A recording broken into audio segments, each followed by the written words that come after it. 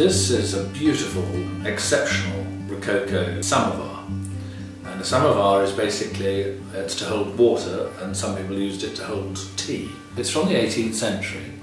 Um, it's about 1765 in date and basically it's in three sections. You've got the lid here, you've got the centre belly as I describe it, and then the base which has this wonderful pierced apron on claw and ball feet.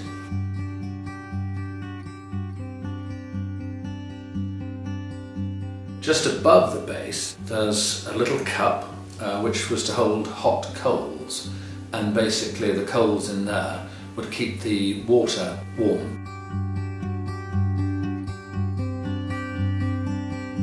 It's a wonderful Rococo design, it's in beautiful condition, it's virtually untouched. It's by David Whyte and William Holmes. They were London makers of fine quality silver during this period in the mid 18th century. It's um, hallmarked quite clearly on every single piece. This piece came from a private collection in North Yorkshire. It uh, had been in the house, a big country house, for many, many years, along with some very, very fine pieces of silver. It's a very good piece at a very reasonable price, considering what it is and the period it is.